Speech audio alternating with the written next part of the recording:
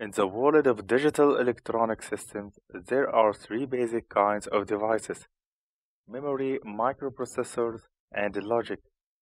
Memory devices store random information such as the contents of a spreadsheet or database.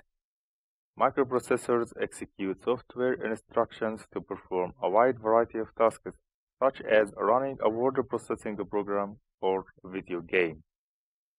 Logic devices provide specific functions including device-to-device interfacing, data communication, signal processing, data display, timing and control operations, and almost every other function a system must perform.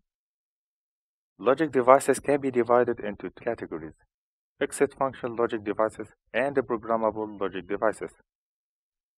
As the name suggests, the circuits in a fixed logic devices are permanent. They perform one function or set of functions. Once manufactured, they cannot be changed.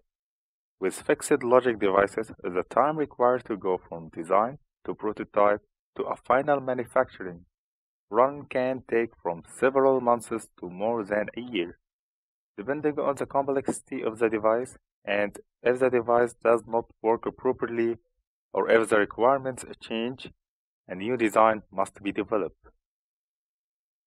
Unless function logic devices, programmable logic devices PLDs are devices that can be programmed to perform any previously specified logic functions.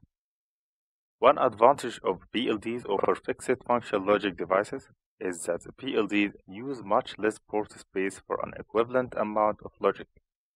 Also with PLDs, design can be readily changed without rewiring or replacing components. Another advantage is that with PLDs, a logic design can be generally implemented faster and with less cost than with fixed function ICs. With PLDs, a designer uses inexpensive software tools to quickly develop, simulate, and test their design. Then a design can be quickly programmed into a device and immediately tested in a live circuit. The PLD that is used for this prototyping is exactly the same PLD that will be used in the final production of a piece of end equipment, such as a network router, a DSL modem, a DVD player, or an automotive navigation system. There are many types of PLDs, ranging from small devices that can replace a few fixed function devices to complex high-density devices that can replace thousands of fixed function devices. Two major categories of user programmable logic are programmable logic devices PLDs and field programmable gate array FPGA. PLDs are either simple programmable logic devices SPLDs or complex programmable logic devices CPLDs. The SPLD was the original PLD and is still available for small-scale applications. SPLD can be used to replace up to 10 fixed function ICs and their interconnections, depending on the type of functions and the specific SPLD. SPLDs can be divided into two categories, programmable array logic and the generic array logic. Programmable array logic SPLD is a device that can be programmed one time only.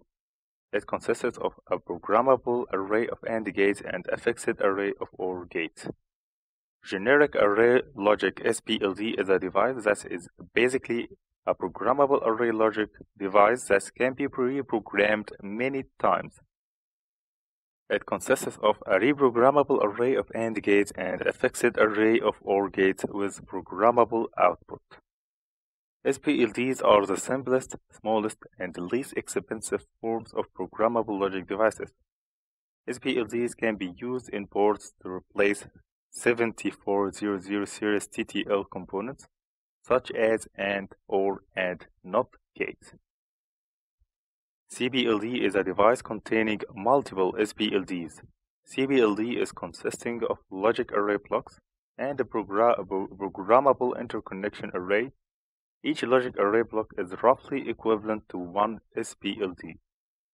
CPLDs can be used to implement many logic functions such as decoders, encoders, multiplexers, and demultiplexers. CPLDs are available in a variety of configurations, typically ranging from 44 to 160 pin packages. FPGA is generally more complex and has a much higher density than CPLD, although their applications can sometimes overlap. As mentioned, SPLDs and CPLDs are closely related because CPLD basically contains a number of SPLDs. The FPGA, however, has a different internal structure. FPGA consists of logic blocks, programmable interconnections, and input-output blocks. The logic blocks in FPGAs are not as complex as the logic array blocks in CPLD, but generally there are many more of them. Large FPGAs can have tens of thousands of logic blocks in addition to memory and other resources. Some types of FPGA package can have over 1000 input and output pins. FPGAs are used in many advanced disciplines such as aerospace and defense, medical electronics, wired communication, wireless communications, and high-performance computing.